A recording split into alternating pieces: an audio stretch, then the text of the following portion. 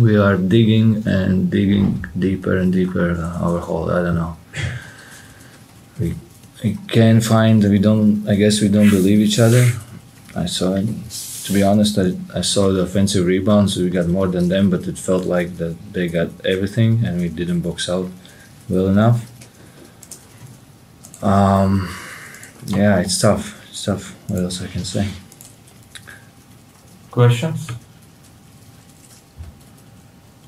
Janis, can you take us kind of uh, into the locker room of Žalgiris and uh, tell us what's the picture in there? What is the confidence level? you can tell on the court that the confidence level, I guess, is not so high. So, in the locker room, we try to support each other. We do everything, but uh, still on the court, we don't see it. And uh, yeah, how that goes. What do you think this team is lacking the most? Confidence, both sides of the court, defensively and offensively. Do you feel the team improved in either side of the court in the last month? We are 0 8. So, not yet.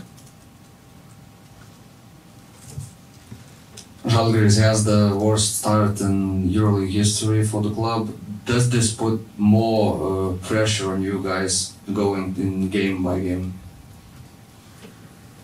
Um,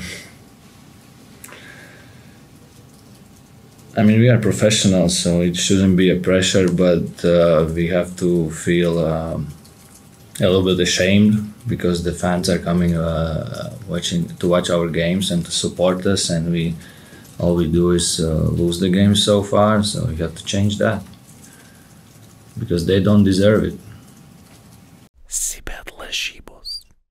Neatsakingas lošimas gali sukelti priklausomybę.